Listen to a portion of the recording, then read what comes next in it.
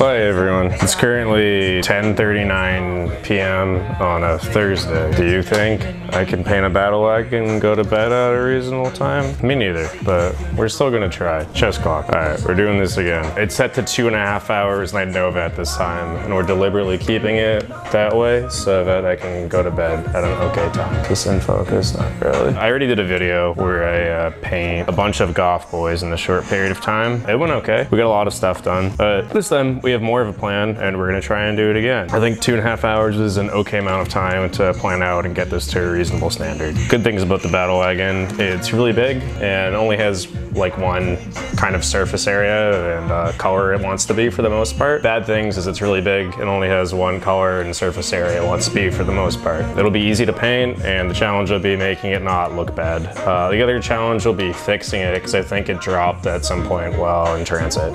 Uh, I think there's a single big shoot I'm missing that's probably in the back of my car now that I look around. That's okay. We'll find and fix that later. And uh, the bottom's magnetized now, so it's gonna be okay to transport.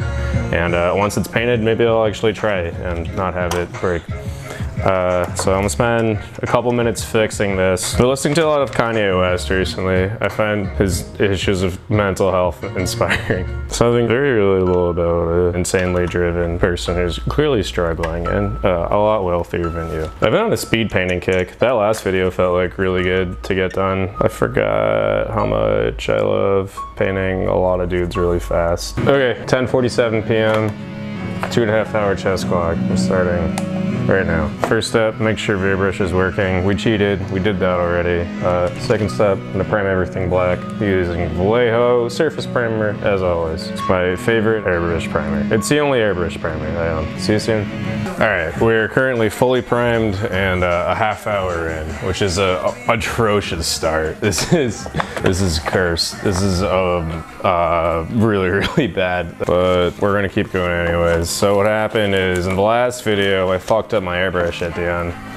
And uh, this one, did not take the necessary time to clean it after the previous video. We spent the first 20 minutes of this video cleaning the airbrush from the last video. And then do you know how long the priming took after it was cleaned and ready to go? Like 10 seconds, but, uh, or I guess 10 minutes. It was, yeah, it mathematically couldn't have taken 10 seconds. It was like 10 minutes. It was very fast. I'll say this every time it breaks, it's still worth it at the end of the day. I'm so glad I have an airbrush. It wouldn't be possible to do most of the stuff I do without one. Uh, that stated, I'm very mad at it and it's currently sitting in the ultrasonic cleaner and timeout. We're gonna hand paint this next part I'm gonna go into dry brushing next. Just like the last Goff video, I'm gonna start with a bronze color and then go over with a, a metal after. Gonna keep it really light. I want this battle wagon to be clearly distinctly black, so it's going in with our Vallejo bronze. One thing that, uh, I don't even know if this really does that much, but someone told it to me and now it's been stuck in my head. Uh, dry brushing, if you wanna keep it light, just do it like one direction so that the top thing you're dry brushing gets picked out. Um, almost like you're like you're like brushing it so there's like a slight it's not a zenithal highlight, but it's just coming from like one direction, you know? And then for the areas I want to be metal, like this front roller, I'm just going all out. Like basically anywhere except for the wheels and the little like metal bits up top, like right here that I'm painting right now. But yeah, we want those like pretty close to black still. All right, that's done. Looks all right. Going in next with Iron Warrior. Just gonna repeat the same process. Leaving some of our bronze underneath showing through, but uh, covering quite a bit of it too. For big vehicles like this, one thing I like to do is create like little texture, like right here, is like a silver you can see that looks chipped, and then the brush texture is just doing that naturally. All right, that looks good. How long did that take? We went from prime to this in less than four minutes, and that included a lot of time of me uh, explaining stuff and thinking a little bit about what I want to do. Recording definitely slows me down a little bit, but it's worth it, because otherwise it's just me talking to myself about battle wagons at the end of the day. Uh, I'm gonna go in for bronze next.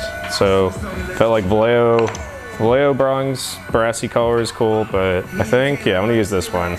This is a Hashut copper, just a little more saturated. I'm taking some care to distinguish the different parts here, but I mean, this brush is a lot bigger than the areas we're painting, so there's some spillover.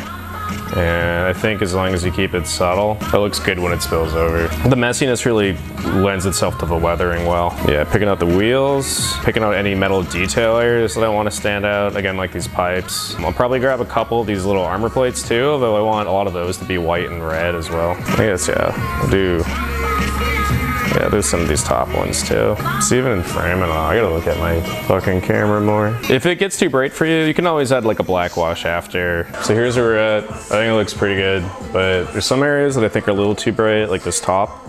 Um, so I'm just gonna take a darker black than we used to prime it actually, just this like Vallejo black. And I'm gonna dry brush that on top. It's like this brass, just very carefully. It should make it look like almost burnt. So earlier when I was talking about how it's uh, great and also sucks a lot that this whole thing is like gonna be mostly one color and one texture. This is why. If you just like go and make the whole thing uniform, it'll, yeah, it'll be fast to paint, but it'll definitely just look like it's one uniform thing that's not painted super well. Uh, one way to help break this up while still going fast is just to create your own texture with the brush. That's what I did with the streaks earlier, trying to make like scratches. Now I'm doing the same thing, but with like black on top to create like multiple layers. You can really see it in like this roller, or I can see it. I don't know if, I hope the camera can see it too. Like right here, that rust texture has a couple layers to it. Once we had like weathering powder and some washes, it'll be even more prominent. We're about 45, uh, 48 minutes in, and here's where we're at. The airbrush is cleaned. Um, this guy's looking fine. And uh, I'm gonna go in with some Death World Forest to prime the boy on top. Just a little base coat, carefully applied with the airbrush. That's uh, way too much paint. We're gonna waste quite a bit of that, however, it's fine. Yeah, yeah, that's what you want. You want a lot of bubbles coming out of your airbrush. That's how you know you did a good job, that there's bubbles coming out. Another good sign you did a good job is if it doesn't work. Yeah, he's solid, Death World Forest. I added in some Ogryn Camo. And I'm gonna mix in a tiny bit of Cadian Flesh Tone too. I'm gonna go on with the second layer of highlights. Or first layer. Second layer of paint, first layer of highlights. There we go. Uh, yeah, I've started doing the Cadian Flesh Tone thing regularly pretty recently. I'm starting light. I'm gonna go in with the second highlight after this of more Cadian Flesh Tone, but I think, yeah, just having like uh, variety in skin tone besides just green, like a little bit of warmth in there, um, helps these guys a lot. Because the Orc is like really the only thing right now, at least, that's like not just like a dark colored battle wagon. Um, as long as he looks good, like literally once he's done, I think the battle wagon will look like air quotes fully painted. It won't look good, but um, it'll look like a completed model, you know? Completed in the very low tournament painter sense of completed, where it's just like, yeah, that's like legally playable and you don't lose points for painting. Which is not my favorite standard in the world, but uh, it is the world I live in. Can't deny what I am at the end of the day. You, uh, you, you hobby painters don't know the darkness within. All right, that's good. A little late, but uh, I'm gonna make it darker with washes. The next step might feel like it's going to be one of the fastest. I think it seems always deceptively easy to most people who don't work with them regularly, but I want to add some decals next, and I fully anticipate this to be one of the most time-consuming uh, parts of the rest of the video. They add a lot. Again, like we said earlier, this thing's pretty uniform, having little patches of color that are easier to apply than hand painting them, but like are still going to take a, a, pretty long amount of time to get in there and think about placement and decide which ones we want. Uh, and then also, I mean, just cutting them and then like uh, varnishing them is a whole nother thing. Uh, Microsol, if you haven't worked with decals much, I really, really recommend this stuff. You put it on top before you varnish. It's, uh, oops, yeah, again, for sure getting a copyright strike for this song. Um, yeah, microsol, you cut out your decal, you put it on there, you put your microsol after, then once that's on, it takes like a couple seconds to dry. Then you take matte varnish and then that'll make it blend and look a lot more natural. The reason why we're doing this now is because the step after that is gonna be weathering. And I want the decals to be just as weathered as the battle wagon itself. Otherwise, I think it would look weird. It feels like they're slapped on after. They feel more like stickers. And this way they, uh, they're gonna blend in and it's gonna feel a lot nicer. Okay, uh, we have one minute and nine seconds left, and uh, I used the entirety of the rest of the time to apply decals, and now it just looks like my battle wagon has a bunch of face tattoos. Was this worth it? No, not for this challenge, but this isn't about this challenge. This is about having a uh, fully painted battle wagon that I don't hate. And I think this sets us up in a better position to um, apply weathering and make it look like, I think it'll look better as an end result because we've done this. Uh, I like having all the decals. Um, I used to be really picky about decals and prefer hand painted stuff because it feels like too clean for orcs to have like drawn this on here and it didn't feel like, you know, like realistic, but uh, I don't care anymore. I like that this one uh, has a poorly translated text at the top that says ride to the Valhalla. I like that there's a pentagram back here. Uh, I like this guy that looks like the Offspring logo with a little bullet in his mouth. They just they just feel good. If I was trying to stick to the challenge, um, which I'm now, uh, this is me telling you I'm breaking the challenge. If I was trying to stick to the challenge, I probably only would have put like one, two, and then maybe like one on the back. But because, uh, yeah, this is a thing that uh, I'm gonna still have after this video is done. Um, spend a lot more time putting more decals on. Uh, it's currently like 1.14. My new arbitrary bedtime is 2 a.m. So I'm gonna set this for another 40 minutes and see how far we can get going into weathering. Uh, I'm gonna start with this Vallejo light rust wash. It's basically an enamel paint, but it's an acrylic, uh, which is better because it doesn't make me uh, want to vomit when I smell it. And you could just use plain old water to, uh, to water it down. Um, you don't have to use odorless paint thinner, which is uh, not actually odorless and not actually good for you. The GW washes are like fine for this, but I think you do need something like a little more powerful than that. I'm not gonna put it everywhere. I just wanna start off at least by putting it like in the crevices and then I'm gonna paint some streaks eventually too, like over the decals and anywhere that it looks like, like if this was a real thing, where would grime fall due to gravity? Here, I'll just do it on the skull real quick. Uh, you want your brush to be very sharp here so that it leaves a nice tip. Uh, the tip makes it feel more realistic. And uh, yeah, I think the sharpness just just helps. You could also, if you wanted, um, take a brush that has like a lot of like weird shapes built into it. I don't really know if I have one right now. Like the corner of this brush is a good example. Like you can see this area. I wouldn't use this brush because it's too thick, but imagine this but smaller and then like the whole thing looks like this. Textures like that can be really useful for making little streaks. Uh, a lot of this is not covered in rust because I want to use multiple different colors and do them in layers. And just like our brass and the silver on top. Um, you really don't want to do it too heavy up top, otherwise uh, it'll be too much and cover the black. So uh, I'm doing a little bit layered there. Um, I haven't really used this stuff yet. Uh, Dirty Down Rust Water Soluble Paint. I don't know what it's, it's just called Rust, I guess, by Dirty Down. Everyone raves about this and I'm stoked to experiment with it more. I did like a small test and liked it, but uh, felt like I didn't really get enough time to play with it yet. So uh, we're gonna start doing that now. This feels like a really good mall to experiment with. All right, I'm pretty happy with the light rust wash. It's gonna take a while, I think, to see how it really looks. Not light rust wash, what is this stuff called? Uh, just plain old rust, uh, dirty down rust. Damn, I think it's probably time for bed too. Uh, I'm gonna I'm gonna keep going for a little bit, but I can feel myself getting tired. Yeah, uh, it's still glossy right now. I know it dries pretty matte, um, and there's a lot of layering going on in here, and I think it's gonna change colors it dries too. So I'm excited to see how the layering turns out and I'll probably add more after, but Next up, we're gonna uh, add some streaking effects. And for this part, I am gonna use enamels. Just like most things in life that are toxic and bad for you, uh, people use it for a reason. Uh, it smells very bad and uh, I, I really don't like handling it, but it's the best. People do things that aren't uh, necessarily good for them for a reason. And I think I wanna mostly focus on like this area down here. Uh, on the rest of the buggies in my orc army, there's a lot of like weathering on the tires and stuff stuff to make it look dusty and I'm gonna do the same here. Um, I'm mixing a little bit of this stuff, which is oil paint. It's by uh, the Elephant brand. I don't know how to pronounce them still. They look German. The Elephant brand. Oh no, Spain. That makes sense. Uh, A-B-T-E-I-L-U-N-G.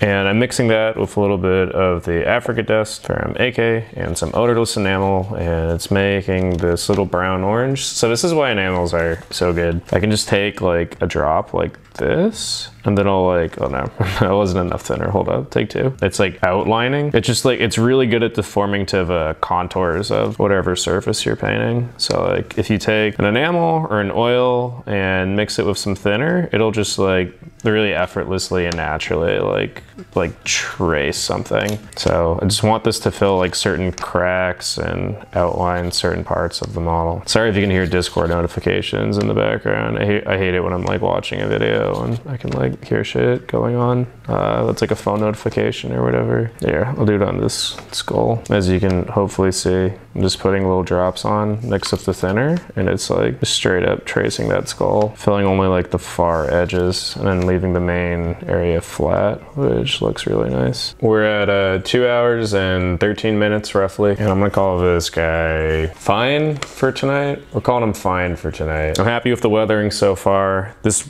uh, rust stuff there's a lot of rust stuff. This specific rust stuff is uh, still taking a bit to dry. So yeah, this will change and I'm gonna leave it overnight and see how it looks. But uh, yeah, I'm happy with it for just over three hours. Like this is complete model. Um, I'm gonna put a lot more time into it and add, I might even go like, like if I varnish this, I would like be happy to play a game with it. And I mean, I'm just stoked that I have this battle wagon painted. It's just been like sitting there for a while and it probably took about as much time to assemble, if not more, as it did uh, for me to paint it, which is always a nice feeling too. The Goff army is getting there. I'm gonna touch it up tomorrow and I'll take some nicer, uh, oh no, there's oil paint still in the bottom. I got some, it's fine, whatever, it works. It's rusty, it looks good. Yeah, I'm gonna touch it up tomorrow and, and I'll take a final like presentation video. Hi everyone, it's uh, way further past the following day uh, it's in fact about a week later. And it's not because it took a week to paint this. Uh, I spent maybe another two hours on this max. But sometimes you forget to finish filming a video every day for a week straight.